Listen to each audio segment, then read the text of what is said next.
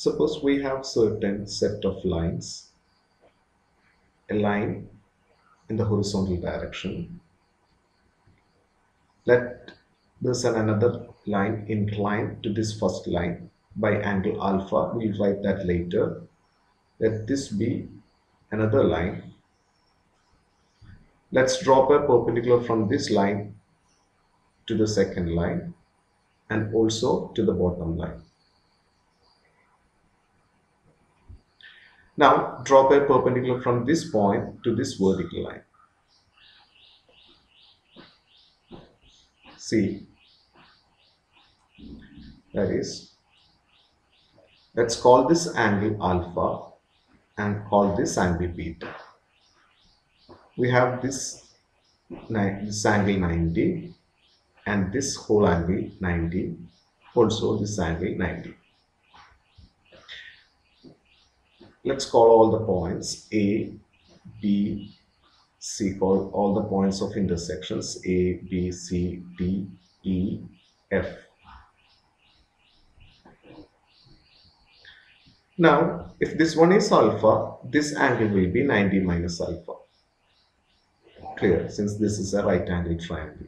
Definitely this angle will be this angle will be 90 minus alpha which gives if this is 90 minus alpha that is this angle is 90 minus alpha. This angle will be alpha. Clear? Now again this angle is 90 minus alpha. So if you consider the triangle EDC EDC this angle is also alpha. Clear?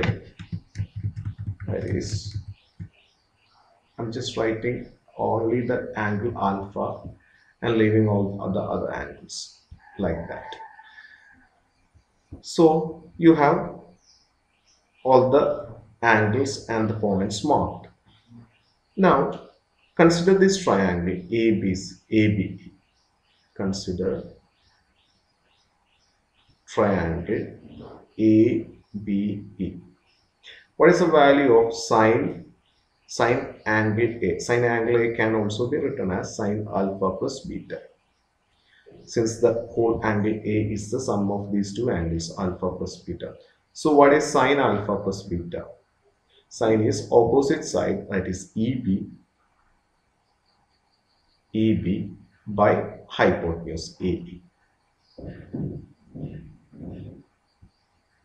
if you look at the line EB, this EB can be written as BF plus FE, BF plus FE divided by AE. Again, sine alpha plus beta is equal to, this can be written as BF BF divided by AE plus FE divided by AE. This is equal to. Now let's introduce a side AD that is AD and ED in between these two terms, these two ratios. That is, if you divide and multiply, this, this ratio can be written as BD by BF by, let's introduce AD, BF by AD into AD by AE. See, the ratio doesn't changes. The, the ratio doesn't changes. You can divide or you can cancel this AD and AD in here. The equation remains, the ratio remains the same. Plus, similarly, introduce ED in here. That is FE divided by AD into ED divided by AE. Again, this ED and ED will get cancelled and the equation is FE by AE. Clear? So on the left hand side, you have sine alpha plus beta, sine alpha plus beta. Now, what is BF by AD? See, BF by AD. For that, let's draw another line from the point T and such that it is perpendicular to the bottom line through AB. That is, this this one is 90 and let's call this point d a b c d e f g. Clear? So instead of bf you can write b. See this bf and gd remains the same. So instead of bf you can write gd by ad into ad by ae plus fe divided by ed into ed divided by ae So this can be written as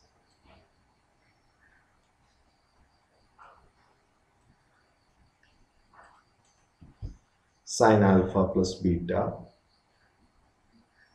Sine alpha plus beta is equal to now look at now let's look at gd the ratio gd by ad see gd by ad if you consider this triangle right triangle agd GD by AD is actually sine alpha. Sine alpha into what about AD by AE? See AD by AE. If you try, if you consider this triangle ADE, then AD by AE is the ratio cos beta. Cos beta. The plus what about FE by ED? FE FE by ED. See, let's consider this triangle EFD. You know, EF by ED is the cos, is, is cos alpha. So, cos alpha into, now the last ratio ED by AE. ED by AE. If you try, if you again consider this triangle ADE, then ED by AE is sine beta. So you have that relation sine alpha plus beta, sine of alpha plus beta equal to sine alpha cos beta plus cos hmm. alpha sine beta. Clear?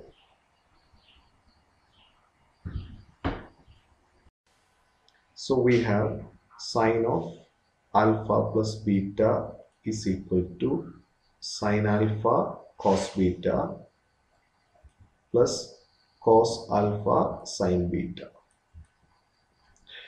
Now, what's the value of sine alpha minus beta?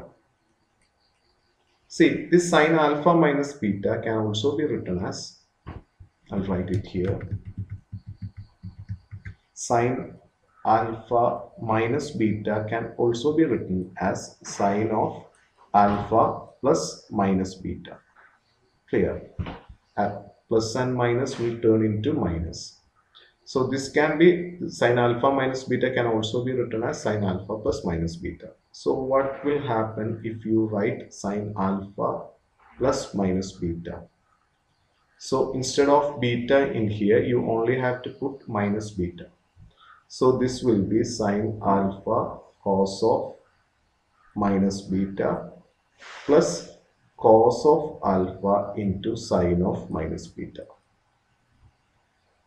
Clear? So sine alpha into what what is the value of cos minus theta? Cos of minus theta will be cos theta. Since it is an even function it doesn't change the value if it if the angle is negative or positive. But if this is minus this is sine that is sine of minus sine theta is minus sine theta so the trigonometric ratio sine is different from that of cos because sine is an odd function. Here it is an even function and cos of minus theta is cos theta. So here you can write cos beta plus here cos alpha, cos alpha. Sine of minus beta is minus sine beta. You can put the minus in here. So this will be, this can be written as sine alpha minus beta is equal to sine alpha cos beta minus cos alpha sine beta. So that's the formula for sine of alpha minus beta.